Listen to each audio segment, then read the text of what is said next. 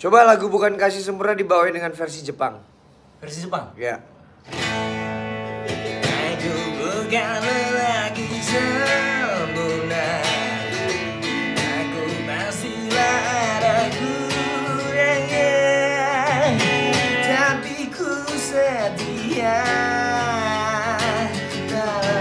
Coba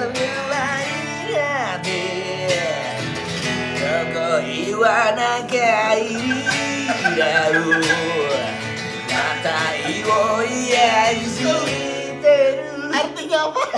Gak apa?